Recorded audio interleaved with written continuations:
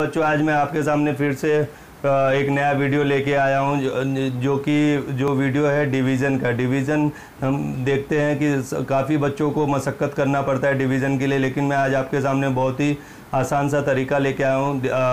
Two digit, two three digit number का आप division आसानी से कर सकते हैं। जैसे कि मैं एक नंबर लिखने जा रहा हूँ। नंबर आप देखेंगे कि सेवनटीन मैंने लिखा है। सेवनटीन को किसी नंबर से आपको डिवाइड करना है। तो किसी नंबर से आपको डिवाइड करना है, जैसे हंड्रेड एंड नाइनटीन हो गया और ये ज़ीरो हो गया।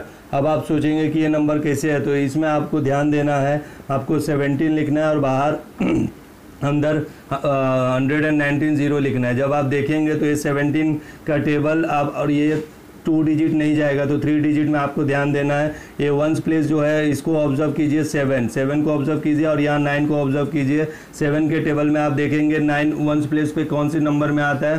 तो आपको दिखा समझ में आएगा कि सेवन सेवन जा फोर्टी नाइन होता है। तो आपको यहाँ सेवन जा डालना है और देखेंगे तो सेवनटीन सेवन जा आपको इसमें टेबल लर्न करने का कोई ज़रूरत नहीं है। आप देखेंगे खाली इसमें आपको सिर्फ़ टू से लेके नाइन तक का टेबल आपको लर्न होना चाहिए। तो ये आपका हो गया फिर ये ज़ीरो को नीचे करना है और यहाँ ज़ीरो। तो आपका आंसर आ गया सेवेंटी। इसी तरह आप कोई भी नंबर का डिवीज़न आप कर सकते हैं जो कि बहुत ही ईजी प्रोसेस है। आपको मैं फिर से एक आ, दूसरा एग्ज़ाम्पल देने जा रहा हूँ।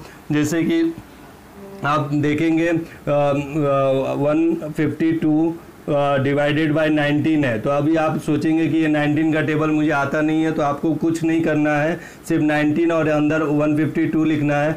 वंस प्लेस 9 है और यहाँ 2 है। फिर से आप 9 के टेबल में ऑब्ज़र्व कीजिए, कौन से नंबर में वंस प्लेस पे 2 आता है। तो आप देखेंगे 9 नाइन एट ज़ा सेवेंटी टू होता है। तो टू यहाँ वंस प्लेस पे आया। मतलब ये एट ज़ा होगा। एट ज़ा होगा मतलब वन फाइव टू मतलब ये आपका आंसर हो गया, इसका आंसर हो गया एट ये बहुत ही आसान तरीका है। खाली जो मैंने प्रोसेस बताया वो आपको ध्यान देना है। धन्यवाद। कितना